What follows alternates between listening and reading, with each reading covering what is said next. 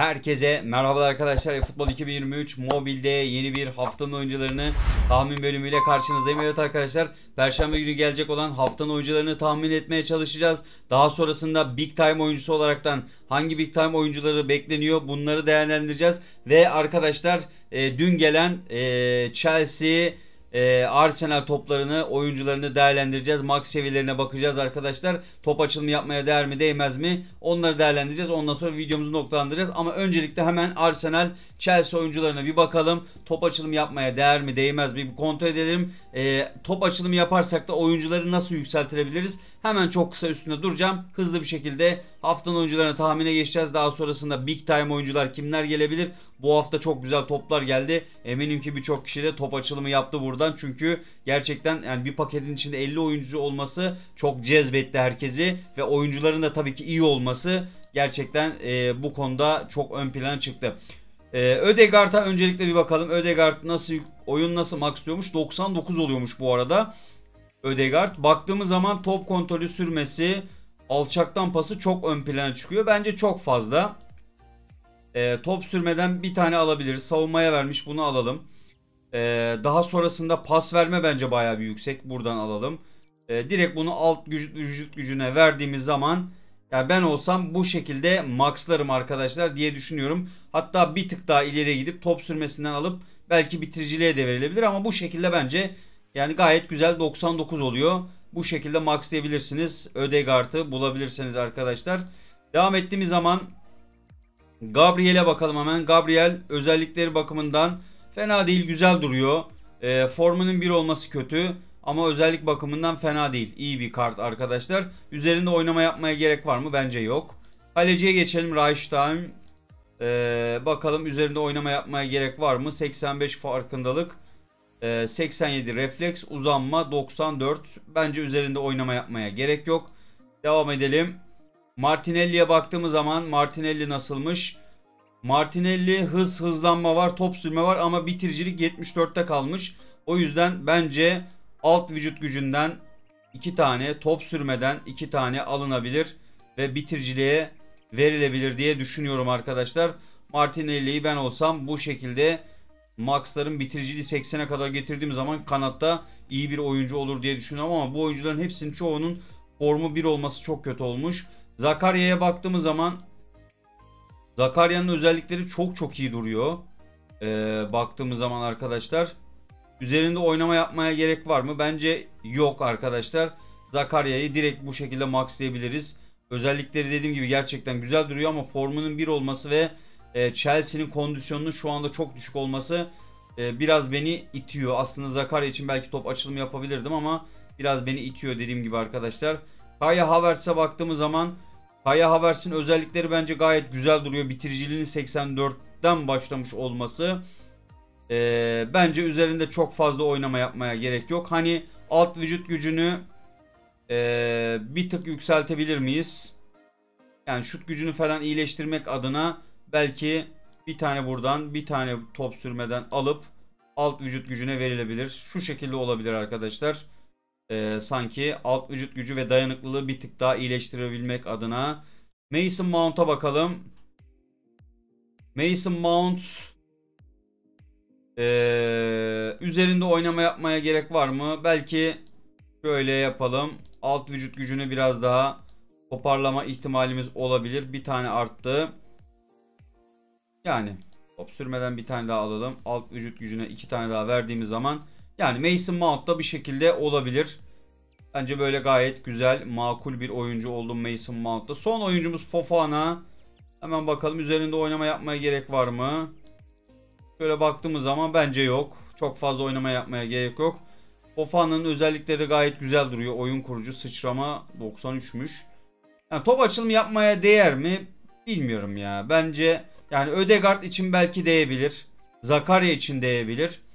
E, Kaya Havertz'i beğendim. Yani e, Ödegaard, Zakarya ve Kaya Havertz için belki değebilir diye düşünüyorum arkadaşlar. Hemen e, şimdi big time oyuncusu olaraktan biliyorsunuz Milan bekleniyor arkadaşlar. Çünkü Donadoni ve e, Maldini'nin geleceğini zaten Konami e, şeyde oyunun içerisindeki bilgilendirme panosunda duyurmuştu arkadaşlar. Donadoni hatta e, epik oyuncu olarak. Maldini de big time oyuncusu olarak gelecek. Milan'ı bekliyorum ben arkadaşlar. Maldini'nin kartı oyuna gelmiş. Yani Tomiyasu da tabii ki stoper olarak basıldığı zaman çok dehşetül vahşet bir kart oluyor ama Maldini bence arkadaşlar e, şöyle hatta bir bakalım şöyle. Maldini'nin bu kartı arkadaşlar gelmesini bekliyorum. Ee, gerçekten böyle karşılaştırma yaptığımız zaman böyle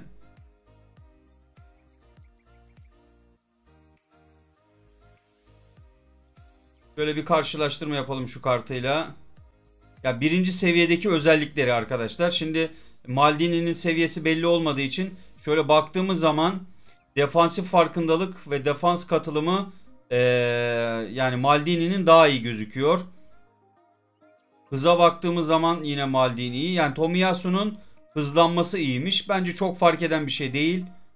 İkili mücadelede Tomiyasu iyiymiş. Top sürmesi ve top kontrolü iyiymiş ama Maldini'nin defansif farkındalığını şimdi ön, pl e, ön plana alırsak 35 seviyeymiş. Mesela Maldini'yi 35 seviye yapsak kaç olur? Şöyle bir bakalım. Ee, tekrardan. Mesela Maldini geldi. Kaç? 31 seviye geliyor genelde ama e, şöyle yapalım. 31 seviye yapalım. Böyle en üst seviye dediğimiz zaman Maldini böyle bir şey oluyor arkadaşlar. Yani 99 yani özellikleri bu şekilde olmuş oluyor. Maldini 31 seviye. Genelde big time oyuncular 31 seviye geliyor. Maldini böyle bir şey olur. Bence Tomiyasu'dan çok daha iyi duruyor gibi sanki. Maldini yok edici olarak geleceği gözüküyor burada ama bakalım bekleyip göreceğiz. Yok Maldini bu arada yok edici miydi diğer kartları? Bir dakika mesela hücumcu bek mesela bu kartı. Bu kartı da hücumcu bek ama bu kartı yok edici olarak gözüküyor. Dediğim gibi eğer 31 seviye gelirse e, dehşetül vahşet bir kart olur arkadaşlar. Maldini yanında Donadoni olacak. Hani Milan'da başka kim olabilir? Yanında onu da bilmiyorum ama e, kart muhteşem duruyor arkadaşlar. Kart bu. 31 seviye olsa bu şekilde bir kart karşımıza çıkmış olacak. Hemen şimdi haftanın oyuncularını tahmine geçelim. Şimdi bu hafta e, Jota geçen haftada yine çok iyi bir performans sergiledi ama gelmedi arkadaşlar. Bu hafta da yine aynı şekilde e, Jota, e, Liverpool şöyle bir saniye hemen açıyorum. Liverpool Nottingham Forest maçı vardı arkadaşlar. Jota 2 gol birden ataraktan maçın yıldızı seçildi. E, şu kartı bende var. Daha henüz hatta maxlamadım bile. E, abi özellikler çok iyi. Bak ciddi ciddi söylüyorum. Oyunun en iyi e, yani forvetlerinden bir tanesi olabileceğini düşünüyorum. Dediğim gibi bu kartı bende var. Henüz maxlamadım. Abicim bakın şimdi şöyle şuraya dikkat kesin. Hava hakimiyeti var, sıçrama var, kafa 84, bitiricilik var, top sürme var, hız var, hızlanma var, şut gücü var. Baktığınız zaman aşıtmalı şut kontrolü, akrobatik bitiricilik, çift vuruş var. E, pozisyon hani an bir tek anında şut yok. Yani bir forvette olması gereken bütün özellikler var. Bir tek anında şut yok. Bu adam kesinlikle bu hafta gelir diye düşünüyorum. Aynı zamanda kanatlarda falan da oynayabiliyor. Formunun 2 olması falan. Yani Diego Jota'yı kesinlikle bekliyorum arkadaşlar haftanın oyuncularına. E, merakla da bekliyorum nasıl bir kartı gelecek acaba. Ben de dediğim gibi bu kartı var. Özellikle bunu ben şeyden almıştım arkadaşlar.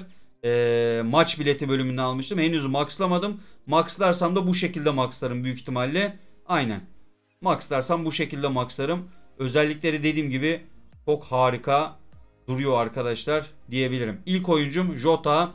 Liverpool Nottingham Forest maçından arkadaşlar. Devam ettiğimiz zaman ee, bir Lens Monaco maçı var. Monaco e, 3-0 yeniliyor Lens'e ve Openda burada 2 gol 1 asist yapıyor ve maçın yıldızı oluyor. Haftanın oyuncularına daha önce bir kere gelmiş. Hemen bakalım nasıl bir oyuncuymuş. Forvet fırsatçı golcü. 84 bitiricili 95'lik bir kartı gelmiş. Hız hızlanması baya güzelmiş. Yani yine buna benzer bir kartı gelir diye düşünüyorum. Openda'nın arkadaşlar ikinci oyuncum Openda. Devam ettiğimiz zaman İspanya'ya geçiyoruz. İspanya'da bir Real Madrid. Ee... Aa, bu klavyede ne var benim ya? Real Madrid Celta Vigo maçı vardı arkadaşlar. Real Madrid 2-0 kazandı ve golü bir tanesini Asensio bir de asist yaptı. Hatta bu haftada kondisyonu A'ymış arkadaşlar. Gördüğünüz gibi. Ee, büyük ihtimalle haftanın oyuncularına gelir diye düşünüyorum. Şöyle normal standart kartına bir bakalım. Özellikleri nasılmış. Ee, 94 oluyormuş. Yani 97'lik bir kartı gelir diye tahmin ediyorum. Özellikleri bence gayet güzel duruyor. Ofansif orta sahada oynayabiliyor. Özel bir kartı geldiğinde gerçekten güzel bir kart bizi bekliyor diye düşünüyorum arkadaşlar. Asensio'nun bu hafta aymış. Bu hafta kesin gelir diye tahmin ediyorum arkadaşlar. Devam edelim. Ee, Almanya'ya geçiyoruz. Almanya'da bir Bochum e, Wolfsburg maçı var arkadaşlar. E, Wolfsburg deplasmanda 5-1 kazanıyor ve burada e, Sunberi bir dakika şöyle ismini yanlış yazmayalım. Svanberg Aynen çıktı direkt zaten. Svanberg e, maçın yıldızı oluyor. 2 e, gol 1 asist yaparaktan baktığımız zaman kendisi göbek oyuncusu 10 numara pozisyonundaymış. Daha önce özel kartı gelmemiş. Baktığımız zaman özelliklerini standart kartın özellikleri fena değil. Bitiricilik baya bir kötü. Büyük ihtimalle bitiriciliğini iyi yaparlar diye düşünüyorum arkadaşlar. Ee, karşımıza o şekilde çıkar diye düşünüyorum ee, Svanberg'in. Bakalım bekleyip göreceğiz ama ben mutlaka bekliyorum. Almanya'dan zaten e, iki takımdan, üç takımdan oyuncu geliyor. E, Wolfsburg, Bayer Leverkusen bir de Bayern Münih'ten oyuncu geliyor. 3 takımdan gelebiliyor ancak sadece. Diğer takımlardan gelmiyor arkadaşlar. Bilginiz olsun. Devam ettiğimiz zaman İngiltere Ligi'ne geçiyoruz tekrardan. İngiltere Ligi'nde ee, bakıyorum hemen notlarıma. E, Bournemouth West Ham maçı vardı. West Ham deplasmanda 4-0 kazanıyor. Ve burada e, golleri tabii ki çeşitli oyuncular atıyor. Hemen bakıyoruz. Golleri kimler atmıştı? E, Anthony, Paketa, Declan Rice ve e, For, Fornals atıyor. Ama ben burada e, Paketa'yı bekliyorum arkadaşlar. Normalde maçın oyuncusu Declan Rice seçiliyor ama e, ben Paketa'nın yani Declan Rice'den sonra en çok puanı alan ve bir golde atan Paketa'nın oyuna gelme ihtimalinin olabileceğini düşünüyorum. Daha önce özel bir kartı haftanın oyuncuları kartı gelmemiş. Ee, şöyle burada Brezilya paket kartı var. Bende de vardı Paketa'nın. Şöyle özelliklerine baktığımız zaman Paketa'nın özellikleri de bu şekildeymiş. Çok fazla beni heyecanlandırmıyor. Devam ettiğimiz zaman çok enteresan bir maç vardı arkadaşlar. Yine Premier Lig'de ee, bir Newcastle United Tottenham maçı vardı. Burada da gerçekten enteresan bir maç olduğunu e, nereden söyleyeceğiz? Şundan dolayı söyleyeceğim arkadaşlar. Çünkü adamlar 20 dakikada hatta 19 dakikada 5 gol attı. Bir de Tottenham'a attı yani. Tottenham'a Newcastle United 5 gol attı ve maç 6-1 bitti. Burada çok fazla ön plana çıkan oyuncu var arkadaşlar ama e, yani Joaliton var. Isak 2 gol attı. E, Murpi var. Ben Murpi'nin e, haftanın oyuncularına gelme ihtimalinin çok daha yüksek olduğunu düşünüyorum. Şöyle baktığımız zaman Kanatta oynayabilen, sağ kanatta da oynayabilen bir oyuncuymuş. Yüksekten pası iyiymiş. Tam benim tarzımda oyuncu bir aslında oyuncuya benziyor. Bakalım bekleyip göreceğiz. Ee, normaldeki standart kartın özellikleri de bu şekildeymiş. Devam ediyoruz arkadaşlar. Fransa'ya geçtiğimiz zaman Fransa'da bir e, Marsilya maçı var. Böyle hemen notlarıma bakıyorum arkadaşlar. Fransa Ligi'nde önemli bir maç. Lyon-Marsilya maçı vardı. Burada yani geçen hafta bekliyordum ama e, bakıyorum Cengiz diye çıkacak mı? Yok. Günder diye çıkar büyük ihtimalle. Cengiz geçen hafta da beklediğim oyunculardan bir tanesiydi arkadaşlar. Geçen hafta gelmedi hatta kondisyonu bakın A burada. Ama bu hafta kesinlikle bekliyorum Cengiz Ünder'i.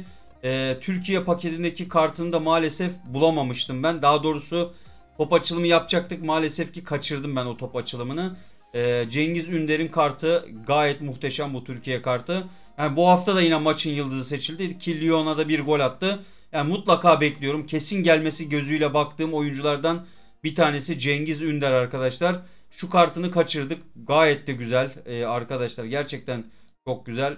Ee, şu şekilde maxlanmış olsa mesela ya muhteşem kartı. Gerçekten muhteşem duruyor Cengiz Ünder'in. Bu kartı. Yani mutlaka beklediğim oyunculardan bir tanesi arkadaşlar. Devam ettiğimiz zaman eee, İtalya Ligi'nde bir Empoli Inter maçı var. Lukaku 2 gol 1 asist yapıyor. Haftanın oyuncularını beklediğim oyunculardan bir tanesi. Daha önce bir kere bir kere haftanın oyuncularına gelmiş. Böyle bir kartı gelmiş. Eee, Lukaku yine benim sevdiğim oyunculardan bir tanesi aslında. Hava hakimiyeti yani en azından kafası iyi. Sıçrama yok ama kafa vuruşu iyi aslında. Bakalım orta kafalarda iş yapabilecek oyunculardan bir tanesi arkadaşlar Lukaku. Haftanın oyuncularına gelirse sırf Lukaku için top açılımı yaparım arkadaşlar diye düşünüyorum. Baktığımız zaman bir diğer oyuncumuz da Milan'da Rafa Leao yine durdurulamıyor arkadaşlar. Bu haftada 2 gol attı. Haftanın oyuncularına gelir mi bilmiyorum ama Milan 2-0 kazandı. Ee, Leao bakalım özel kart kaç tane haftanın oyuncuları kartı var. Daha önce iki kere haftanın oyuncularına gelmiş ama yine gelebilir. Şu kartını çok istedim bulamadım Rafa Leao'nun. Bu kartı çok iyiydi. Bulamadık maalesef. Rafa Leao'nun ofansif orta saha 10 numara kartı. Bu hafta kanatta oynadı. Yine haftanın oyuncularına gelme ihtimalinin çok yüksek olduğunu düşünüyorum. 2 golle maçın yıldızı da seçildi zaten. Devam ettiğimiz zaman son oyuncumuz da e, PSV maçında Luke de Jong, e, PSV Eindhoven, Ajax gibi yani ezeli rakibini 3-0 kazanıyor. Burada Luke de Jong 2 gol birden atıyor. Tabi burada Simons da ön plana çıkıyor ama şöyle bir yazalım bakalım. Luke de Jong daha önce haftanın oyuncularına bir kere gelmiş. Ne zaman geldi acaba kim bilir bilmiyorum ama e, bu haftada haftanın oyuncularına bekliyorum. Çünkü dediğim gibi ezeli rakip Ajax'a karşı kazanılan bir maç var. E, Simons da ön plana çıkıyor ama ben Luke 2 gol atan Luke de Jong'un haftanın oyuncularına gelme ihtimalinin olabileceğini düşünüyorum. Tahminlerim bunlar arkadaşlar. Sizler de mutlaka fikirlerinizi yorumlara yazmayı unutmayın. Umarım videoyu beğenmişsinizdir. Bir sonraki bölümlerde tekrar görüşmek üzere. Hoşçakalın.